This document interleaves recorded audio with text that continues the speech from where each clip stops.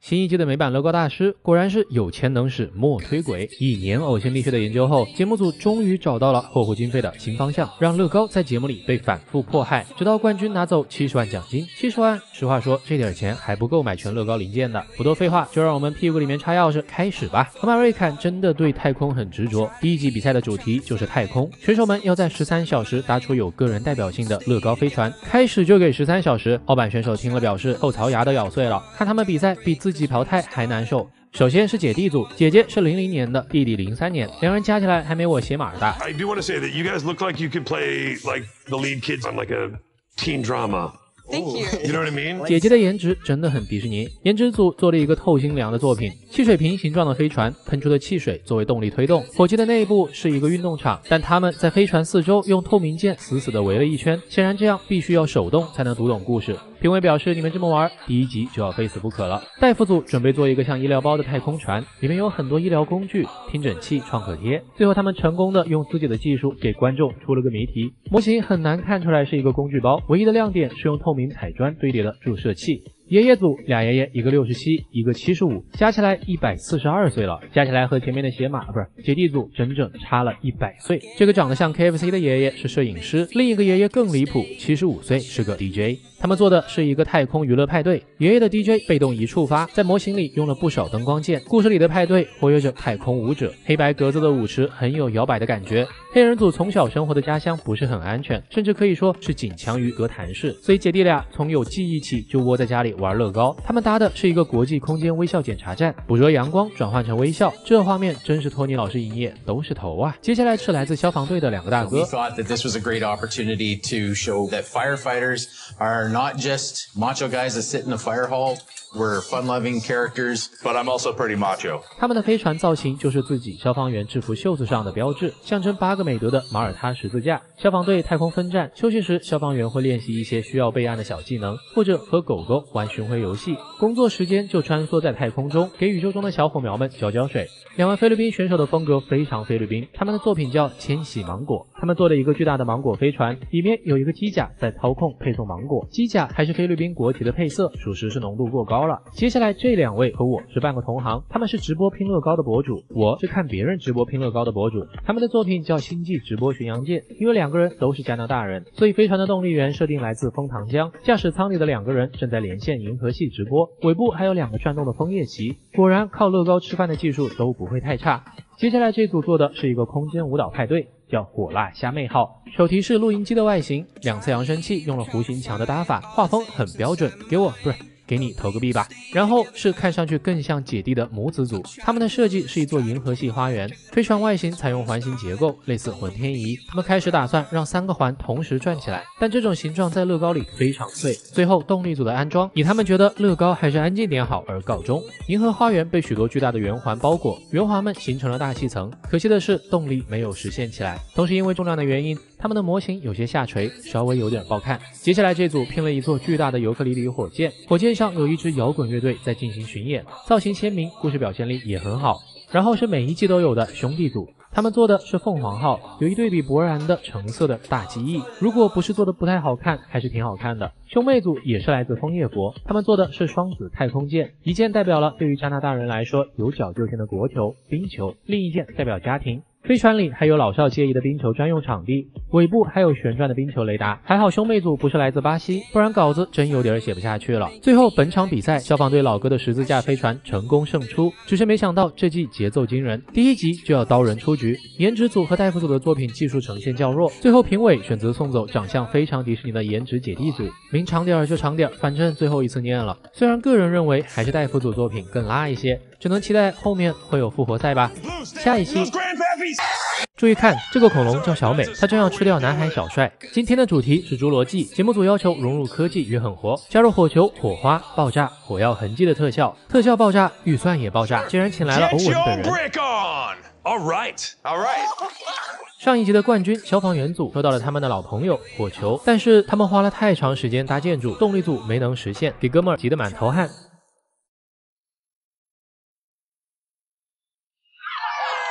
消防局旁边这大列巴，不说还以为是恐龙呢。个人认为碰到澳版是海选就走人的级别，看来今天没法保送了。主播组的画风就童趣了很多，讲的是一只恐龙在万圣夜出现，不小心撞倒了一根电线杆的故事。但是主播姐寻找灵感的方式 No，Did I actually just hear you guys say power lines? No.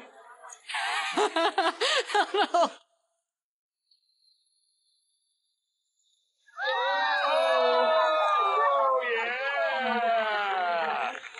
人物和恐龙的搭建还算不错，但最终整体呈现的效果一般，感觉火花的特效并不适合这个场景。姐妹组被主播姐偷听后改变了策略，造了个矿洞，洞口是餐车，矿工们正排队准备吃午餐。大批恐龙闻到香气也赶了过来，撞翻了矿车，引爆了炸药。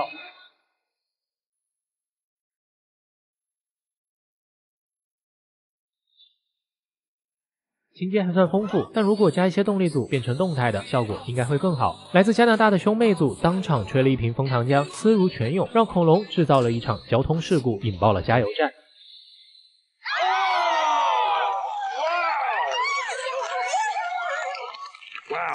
动态连贯，但是特效有点强差人意。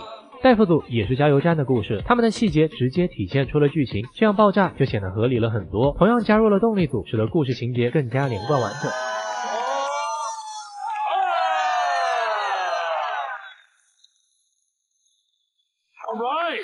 菲律宾组老二次元了，他们打算让自己的作品也动起来，制造一场失控地铁撞向油罐车的连环爆炸。翼龙扯断了铁轨，顺便筑了个巢，地面部分被三角龙占领，司机吓得直接跳车。他们花了两个多小时来测试运动轨迹，来看看最终效果。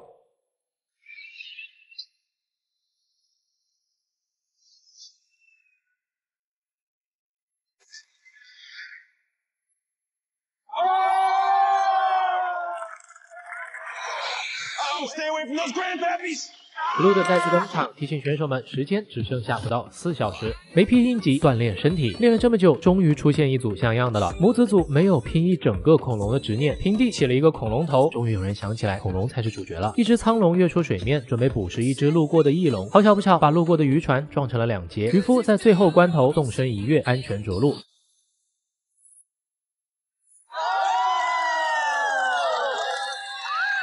情节完整，画面明了，爆炸起到了锦上添花的作用。兄弟组抓住了突出恐龙的重点，做了一只巨大的雷龙，打翻了油桶，还不小心扯断了电线，引发了爆炸。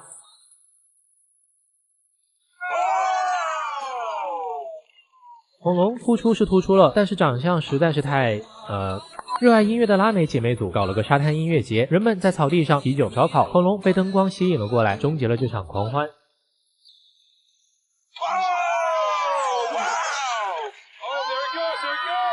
他们是唯一一组做到把场景搭得大而不空的，所以爆炸的效果也要好很多。爷爷组在侏罗纪世界建了个和平谷，讲了一个很复杂的故事。他们的现场要素过多，重点模糊，场地也太过空旷，整体效果呈现得很一般。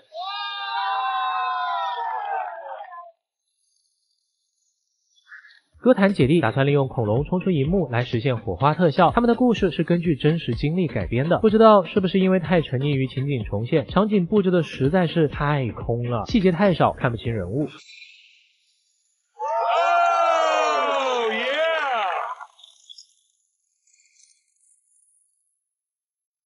一路火花带闪电，今天依旧是淘汰赛。意料之中，淘汰队列的两组是哥谭姐弟和爷爷组。姐弟的作品实在是单调，无缘后续了。冠军候选是母子组的苍龙头和菲律宾小哥的三连三连炸，靠着儿子的丰富想象力与妈妈的执行力，母子组拿下了冠军。说实话，我觉得这算矮子里拔大个了。可能澳版优质选手和作品看多了，美版这两期节目看下来，包看两个字，我再说一次，希望亲们能把整活的时间和精力用在作品上，效果应该会好很多吧。看预告，下集终于又到了烧钱环节。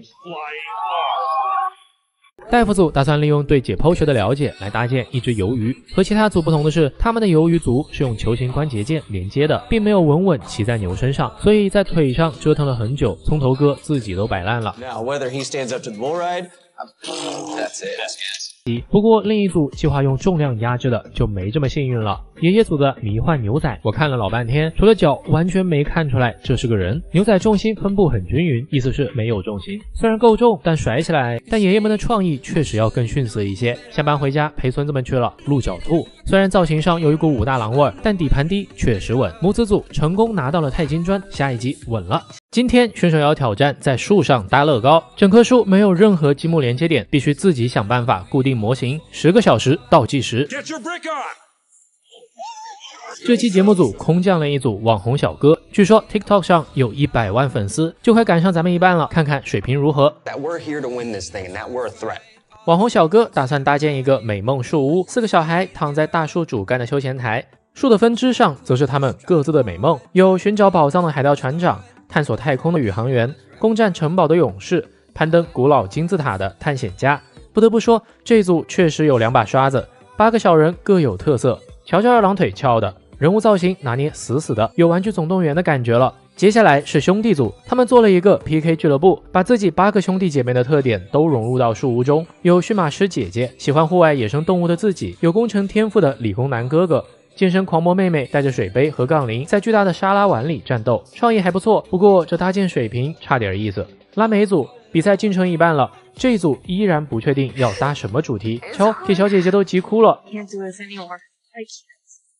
最终，他们搭建一个仙女花园，嗯，也就凑合事儿吧。这水平，咱抖音评论区一抓一大把，你说是不？大夫组由于从小就爱读书，他们准备在树上做几个树屋，每本书都呈现不同的故事：飞机、火箭、城堡、海盗，创意不错。可惜很多元素和网红小哥雷同，难道外国人的童年只有这些吗？主播组准备用乐高搭建一个更大的乐高砖块，孩子们在树屋里玩着角色扮演。这些小人看着简单。但是表情非常生动。房子内部有一间美术室、迪斯科舞厅和一个游戏室，妥妥的豪宅了。树屋底部甚至还有一扇秘密小门，创意和趣味性拉满，连我都想变成小人进去玩了。母子组在树上搭了一个中国寺庙，寺庙里躺着熊猫妈妈，外面是玩耍的熊猫宝宝。不得不说，这寺庙实在是太潦草了，和我幼稚园大侄女画的房子有的一拼，并且国宝熊猫搭成这样，实在是有点欺负人。在线征集一名积木练习生前去挑战。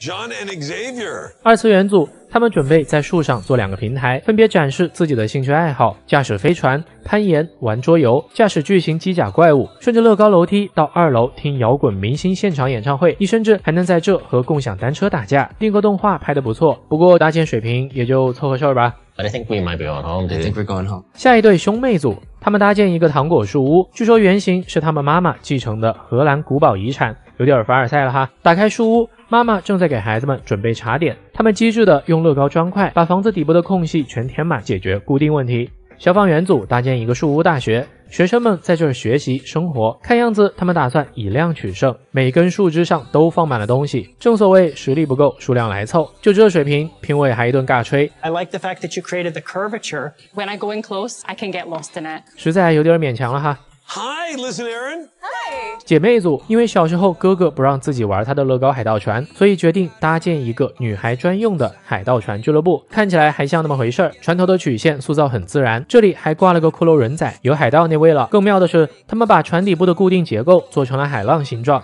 看上去就像是在浪尖航行的海盗船。最终，本集第一名给到了主播组的乐高树屋。拉美组由于本集表现太拉，淘汰出局。下一集带你去溜一溜乐高狗子。And who will find the challenge too rough?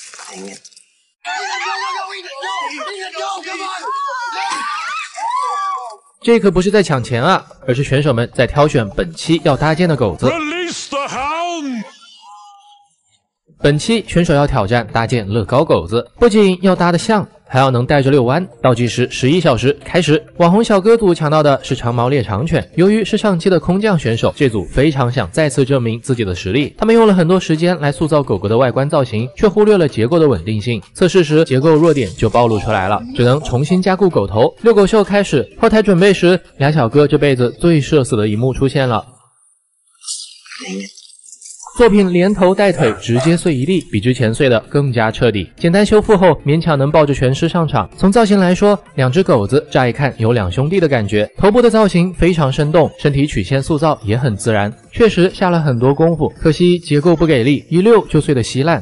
下一对兄妹组，从妹妹的尖叫声中就知道她有多喜欢狗了。于是整个比赛过程中，妹妹的手似乎就没有离开过这只蝴蝶犬。我怀疑作品全是哥哥搭的。走秀开始，他们使用大量基础版来塑造狗狗的毛发，单独看着挺丑的，和真实狗狗一摆一起，嗯，更丑了。幸亏他们挑选的是一只小型犬，遛狗过程中没有翻车，顺利完成任务。接下来是戴夫组的骑士查理王猎犬，这狗狗也太乖巧了。他们打算在轮子移动的基础上，用传动结构做一个仿生腿。不过很可惜，由于时间紧迫，这个想法没能实现，最终还是回归到了轮子腿。狗狗的头部塑造非常真实。大耳朵做出了毛茸茸的感觉，可惜浪费的大部分时间在研究仿生腿上，导致身体细节比较简陋。看到这，不得不说还是咱中国人聪明，早在三国时期就发明出了木牛流马，被公园大爷改良后，不仅能真实的走路，还能上下坡，溜起来比这一堆轮子腿强多了。姐妹组选到狗子，不知道叫啥名字，长得跟拖把似的，咱就叫它拖把狗吧。他们很巧妙的用圆柱零件来展现狗子的毛发，可惜最终效果不好，直接把拖把。整成咱古代的蓑衣了，毕竟这也是乐高大师比赛，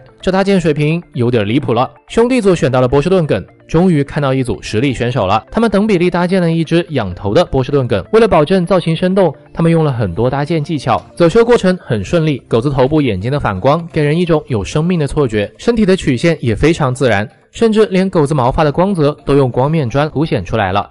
这造型摆在家门口镇宅应该蛮不错的。主播组选的是柯基狗，走秀开始，这配色怎么看着不像是柯基，倒像只狐狸呢？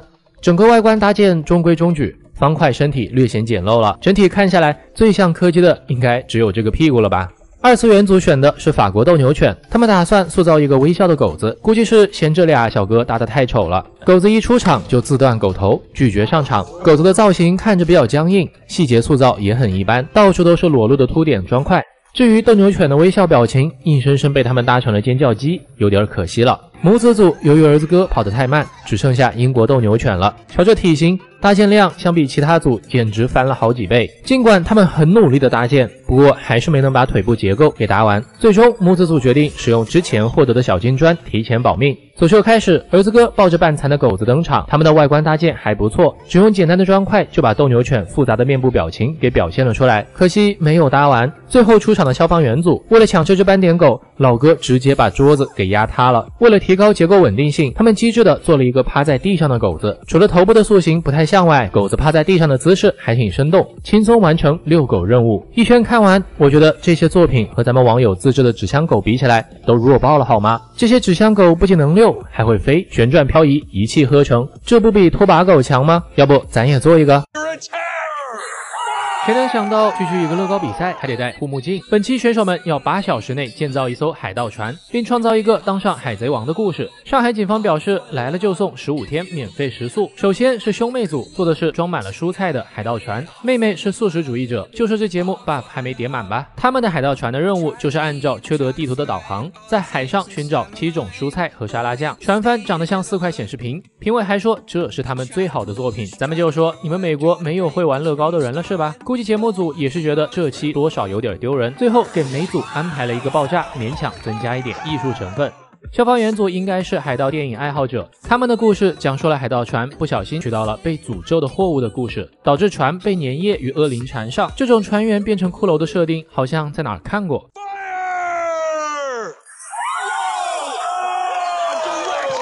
主播组做的是芭蕉号，猴子海盗们正在寻找一个能用来统治世界的神秘香蕉，不知道你们找的是不是这位？空降组和上面的主播组撞题，他们这艘原本是人类率领的海盗船，然而猴子从货舱的笼子中跑了出来，和人类展开了一场海盗船争夺战。从船的线条和猴子造型就能看出他们的实力是有点傲板的，虽然空降这个实在是槽点太大。只能说，这些人来参加乐高比赛，纯属验钞机罢工，没有避数。选手里还有一位是美国海岸警卫队的大副，他经常在公海区域进行救援执法，所以兄弟组应该是最熟悉海盗的选手了。他们造了一艘在水下沉寂几十年的绿色珊瑚藻号，它有着海带做成的帆，船身上还有各种贝类，再加点调料，真成海底捞了。多年后，珊瑚藻号重新回到了水面，疯狂的渔人们将抓到的人类当做俘虏。你别说，最后这个炸的可比搭的好看多了。戴夫组做了一艘黄帆海盗船，名叫复仇女神号。因为女船长的丈夫不幸被海怪吃掉，所以她要杀掉这只蓝色乌贼，为她的丈夫复仇。但因为作品里道具鱼叉的出现，被评价不像海盗船，更像圆滑的渔船。船本身也很空荡。如果后面没有跑题的选手，戴夫组就可以坐船回家了。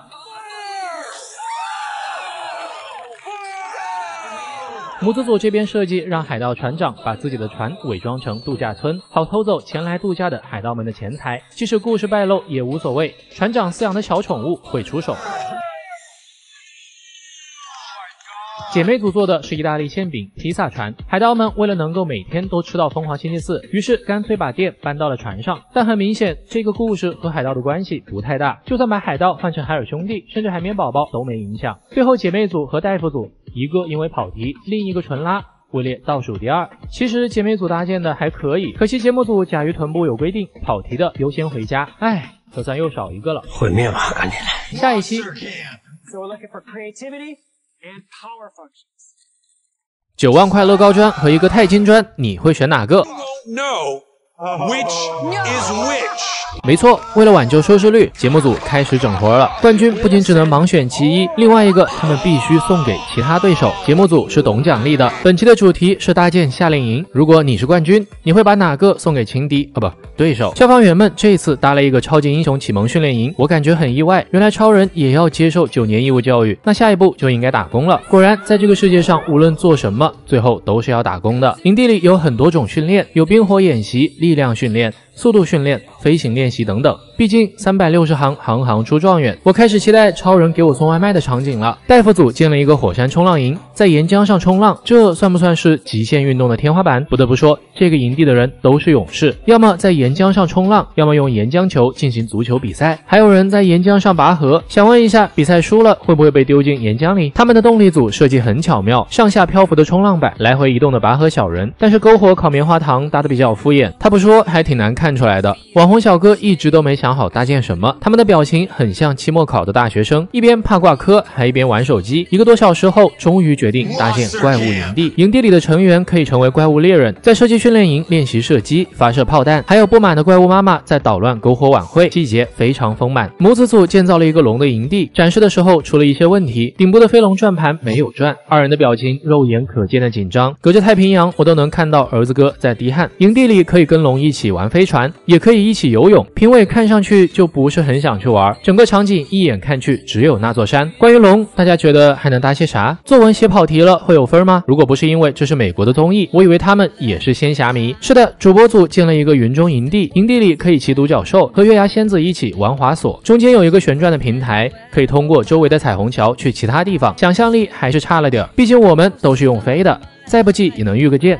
这组更像一个空中游乐场，而不是夏令营。兄妹组建了一个软泥营，难道他们爱看精灵旅社？营地里可以玩滑索，一看就知道他们没看过神话故事，就知道玩滑索。我们女娲都是用泥巴造人的，玩累了还能在淤泥地里泡个澡，恢复元气，方便转战下一场永动机啊！这是整个场景搭建的非常好看，用各种透明颜色的链条代表即将滴落的粘液，想法不错，但全程都是哥哥在搭建，妹妹摸鱼嫌疑很重。兄弟组建了一个狂野威力的空中奇幻营，在那里。金鱼可以坐上飞行器体验飞行，还有水滑梯和篝火舞会。他们用了很长时间去搭建飞行器，以至于细节部分很粗糙，而且飞行器和水滑梯让营地看上去非常像欢乐谷。比赛还剩九十分钟的时候，拆掉了滑梯，试图重建，但是已经来不及了。最后，网红小哥拿到了第一，他们如愿选到了九万砖块，钛金砖给了兄弟组，这样他们被淘汰了，也没机会用它复活。这小算盘打的稍微有点响啊，但是人算不如天算，这一期不是淘汰赛。All the teams are safe.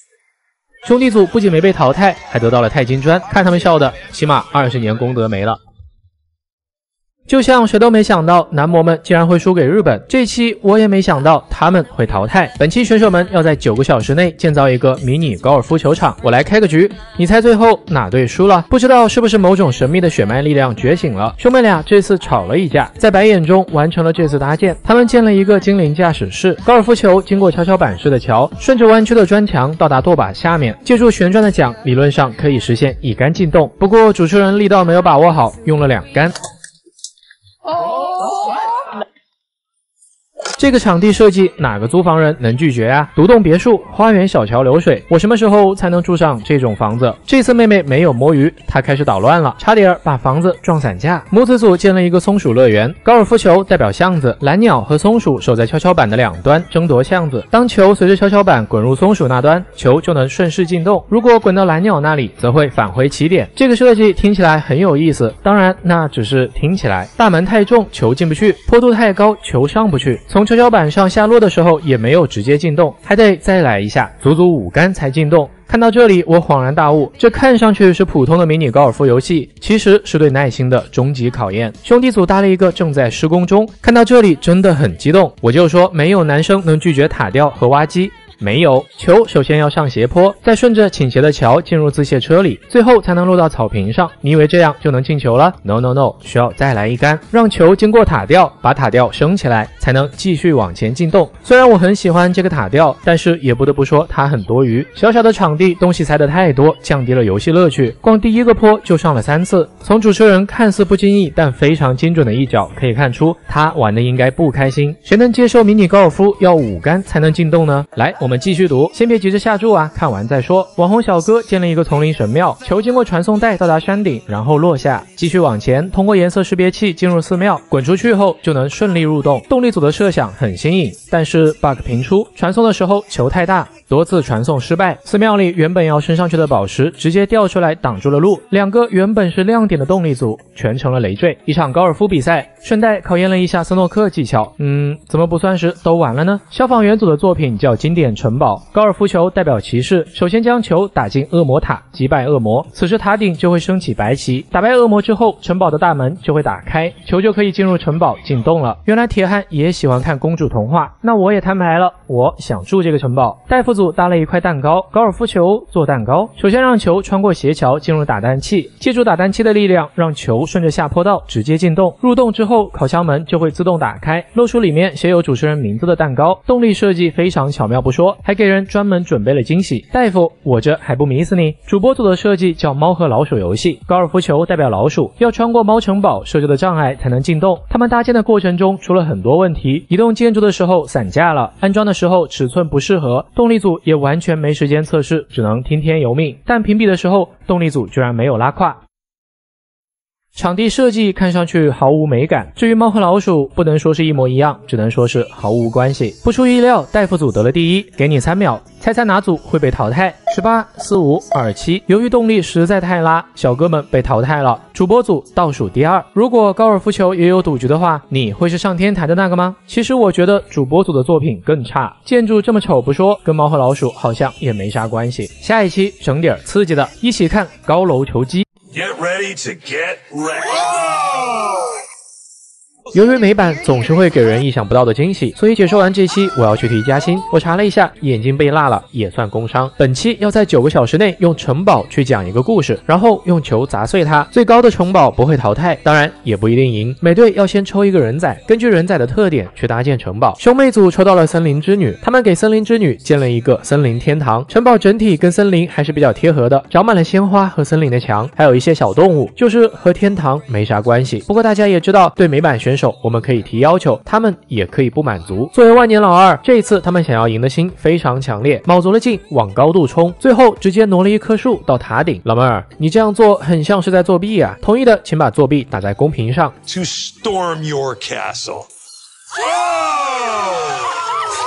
主播组抽到了雪的守卫者，为此搭建了一座北极堡垒。雪守卫者在保卫堡垒，免受熔岩怪物的攻击。城堡的粗糙咱就不说了，这个怪物搭的或许是他们想要洗粉，洗掉技术粉，留下不知道为什么，但是就是喜欢他们的拥护者。可能是前几次都在淘汰的边缘，他们也是卯足劲往高了整，最后还加了个雪花冲高度。这会儿就看出技术的参差了。为了高度，城堡他们只有几面墙，细节和美观直接没有。兄妹组细节还是有的，结果雪花在评比的时候。掉了下来，这 bug 卡的真成了一个 bug。Get ready to get wrecked.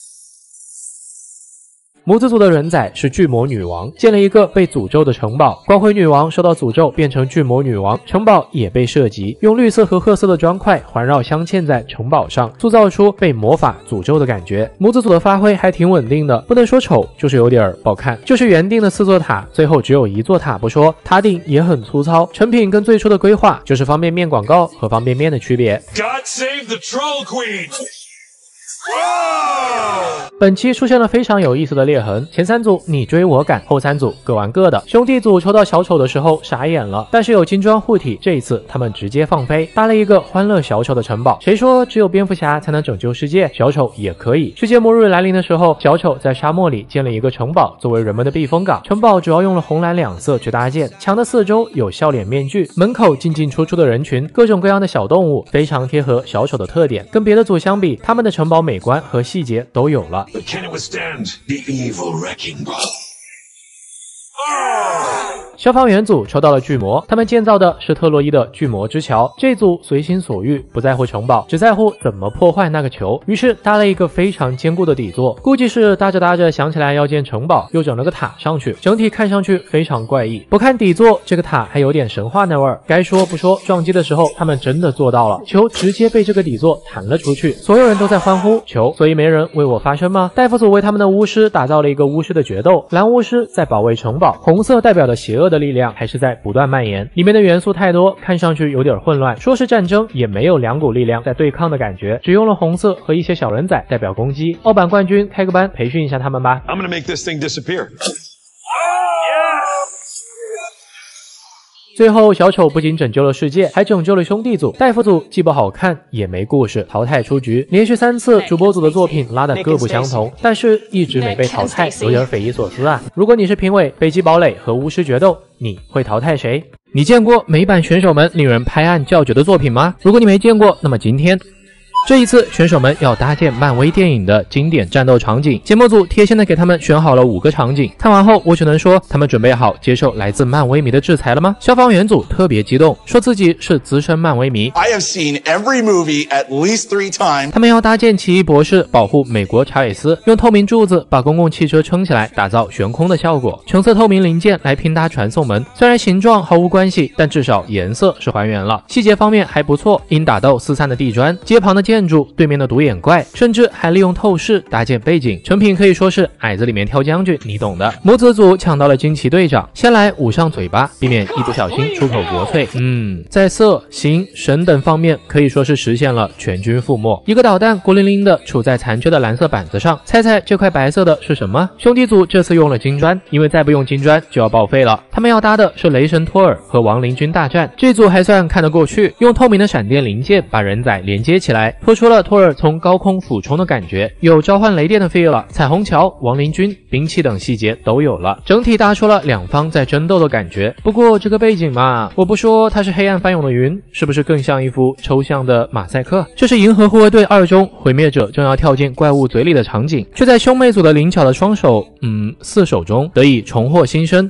抛开还原漫威不谈，粉色的章鱼怪还是挺可爱的。触手用了球形零件搭建，还原了章鱼八虚乱舞的感觉。怪物的牙齿也是乱中有序，外面一圈，里面一圈，他们的观察很细致。人仔立在透明柱子上，搭出了往里跳的感觉。地板和周围的神灯也进行了还原。作品可以用哥哥跟雷神的关系来形容，别来沾边。主播主要搭的是上汽和魔神的战斗，这一大坨蓝色的东西，乍一看是座山，其实人家是翻涌的浪。魔神搭的也很粗糙，简单来说就是正正方体上顶着一个缺了边的三角形，把它跟漫威切割开来，当做一个缺心眼的怪物，倒是还不错。头部的塑造毫无圆润可言，整个场景主要部分很粗糙，细节也完全没有。不出意外，只处了一个导弹的母子组被淘汰了。最后，消防员的奇异博士赢了第一。嗯，其实这一期不评冠军也行。下一期节目组要用乐高赛车，期待有点好作品吧，求求了。拼乐高和赛车都是让人为之疯狂的东西，合在一起后本该更疯狂，但是在这里却多多了一种欲言又止的新体验。本期是乐高纳斯卡车赛，剩下的四队分成红蓝两队，每队四人合作搭建一辆赛车进行比赛。兄妹组和消防员组是红队，拼了一个加拿大经典的红白拼色赛车，虽然是辆车，但也不影响它叫红色火箭。车身上拼了他们过去的作品，假装是赞助商的广告。从前面看，真的很像一辆汽车，车灯、保险杠、中网都有了，就是车尾部分搭得很敷衍，就像答案上的略。兄弟组和主播组是蓝队，我以伟的乐高赛车是这样的，他们搭建的乐高赛车是这样的，打破人们心中对于车的固有印象，也不失为一种成功。最终作品就是在现有的车上拼一个不知道是什么的外壳，荒谬但又合情合理。车身上有闪电、有太阳作为装饰，其他的拼搭就像鱼没了自行车，关系不大。不出意料，更像车的红队赛车赢得了杆位。比赛的时候，所有人都以为红队赢定了，我猜他们自己也这么想，所以中途进站拼轮胎的时候不慌不忙，成功被蓝队反杀，输了比赛。既然车可以不是车，那比赛也不一定非得淘汰。消防员组和兄妹组本次安全，下一期要搭喷泉。回想一下美版的水平，开始期待他们会整出什么幺蛾子了。随着比赛进入尾声，挑战也开始有了点难度。今天选手们要建造喷泉，好奇他们会搞出些什么东西，又有点替他们捏把汗。兄妹组要建一个火烈鸟喷泉，听起来还不错，但如果告诉你这是美版选手的设想，那你就应该明白。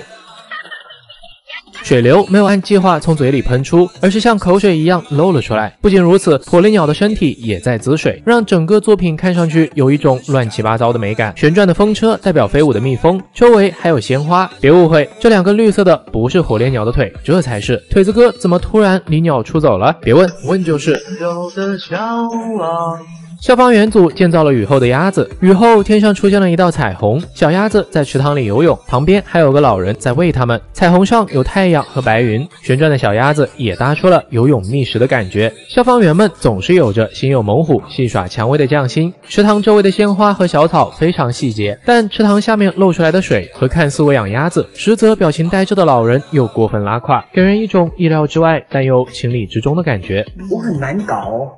来看看一直垫底的主播组，这次他们建了个螃蟹沙堡，沙堡用了跟沙子颜色相近的土黄色搭建，上面的海星、水浆和螃蟹让城堡看上去还不算太丑。涨潮的时候，海浪会破坏沙堡，摇晃的白旗代表螃蟹向大海投降，左右移动的螃蟹，旋转的江，摇晃的白旗。动力组的设置也比较合理，不过谁家海浪是从屋顶流出来的？这就是既然搭不出来，索性自己创造。兄弟组的作品是春天的郁金香，水流通过这个巨大的风车。浇灌草坪，旁边还有个自动浇花系统，装满水后桶会自动倒水浇花。我猜选手们自有它的淘汰机制，看桶的位置就懂了。对于同一根水管的水，哪些用来浇灌鲜花，哪些不能，都交由命运决定。不满的郁金香也将兄弟组的命运交给了命运。动力组出了问题，花没有升上来，连他们自己都无法预判最后会呈现出什么效果，就是一个典型的美版作品。最后主播组的螃蟹沙堡得了第一，状况百出的兄弟组被淘汰了。下一期就是总决赛。